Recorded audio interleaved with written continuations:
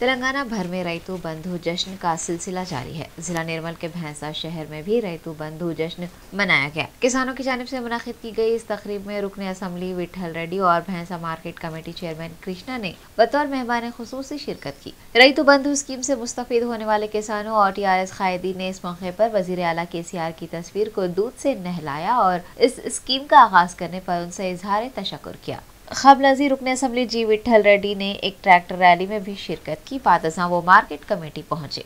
TRS कायदीन बशमुल के साथ संगम सदर Mohammad Sirajuddin, town general secretary Ramu Abdul Wase, Aziz Qureshi, Mohammad Adil. Bhujram के अलावा दीगर ने भी इस मौके पर शिरकत की। रुकन असम्बली जी विठल रेड्डी और एएमसी चेयरमैन कृष्णा ने टीआरएस हुकूमत की शोबे ज़रात और किसानों के लिए फराहम की जा रही तमाम स्कीमत पर तफसीली रोशनी डाली।